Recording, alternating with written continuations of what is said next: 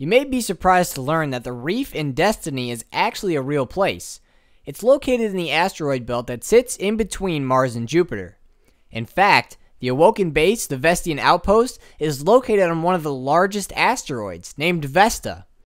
The Fallen House of Wolves also made their home on one of the asteroids, the largest one, Ceres.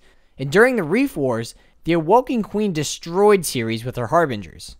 It's awesome that the history of Destiny even affects the asteroid belt. Although I'm sure you don't really know the reef for its history or its accuracy, instead, you probably know the reef as one of the truly unique places in Destiny because of the majestic purple light that filters throughout the area. Can an area like this actually exist somewhere in the solar system? To figure that out, we have to dig into the most physics heavy episode of Game Connections yet.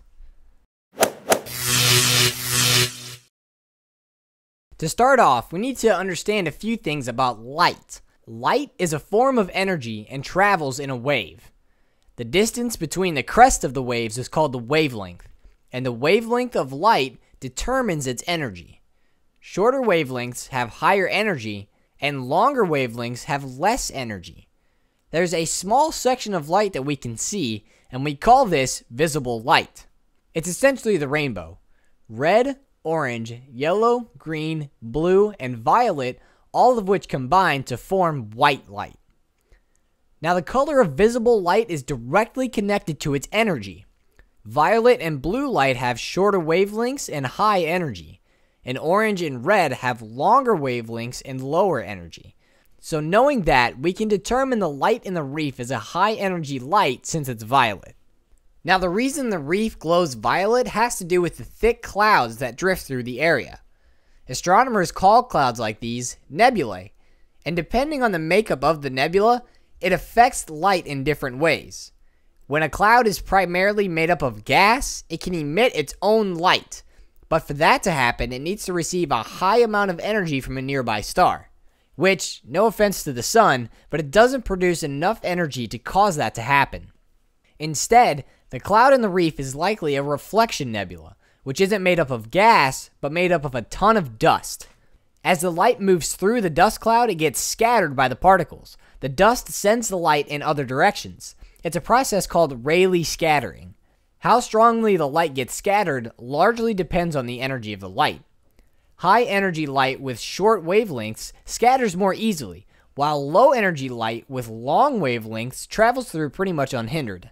If we remember earlier from light, violet light has the highest energy and the shortest wavelength. So when it travels through the dust cloud, it gets scattered the strongest. With all the violet light being thrown around by the dust, it causes the area to radiate a pale violet color. And that's how the reef gets its iconic glow. So that's the explanation, or theory rather, but that leaves some questions. Like, how come we can't see the asteroid belt glow in real life? And that light scattering thing happens on Earth, why isn't the Earth's sky violet like the reefs? Well, the reason the asteroid belt doesn't glow in real life, quite simply, is because there isn't a nebula in it. Contrary to popular belief, the asteroid belt isn't tightly packed full of particles like Saturn's rings are, but instead it's mostly empty. There are many miles between large asteroids, and the small ones in between are usually too small to discern. There just isn't enough dust to reflect any kind of light from the sun. So, understanding that, the question then turns to where did the nebula and Destiny come from? Well, the Awoken may have created the nebula themselves. I mentioned earlier that the Awoken destroyed the dwarf planet Ceres during the Reef Wars. The destruction of the most massive body in the asteroid belt may have created enough debris to create the reflection nebula that now sits in between Mars and Jupiter. Or maybe something else happened. We don't know. But that nebula is here now and it creates a wonderful view. The scattering of light particles also takes place on Earth in the upper atmosphere. That's why the sky is blue. As light comes in, the high energy blue light scatters, while the rest of the light goes right on through. But since violet has a higher wavelength, shouldn't the sky be violet?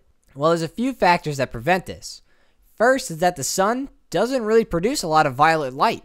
It actually peaks in the green part of the visible spectrum, so there isn't much violet to see. Secondly, any violet light it does produce is usually absorbed by molecules in the upper atmosphere, so there's even less to see. Lastly, it has to do with our anatomy. Humans have evolved to see certain wavelengths of light better than others. We are more sensitive to the blue and white light coming from the sun than the strongly scattered but very faint violet light. And that's basically why the sky is blue. However, out in the Vestian outpost, there is no atmosphere to absorb the violet light, so its strong scattering actually makes it visible to humans. So, that's a rough explanation of why the reef appears violet in Destiny. Now, before I finish up, there's one more thing I'd like to mention. I brought up the anatomy of humans as a reason why we couldn't see violet in Earth's sky. But we don't play through Destiny as just humans. Being out on the fringe of the asteroid belt, the Awoken may have evolved a new way to see light. Maybe they see light in different ways than humans do. Maybe they see a few new colors. Maybe they see colors differently. But Exo are machines. There's no limit to what they can see. We have telescopes now that can see wavelengths of light that humans can't. Maybe the Exo can see colors that we can't even dream to see. The universe is probably a really beautiful place in their eyes. Thank you for watching and see you later.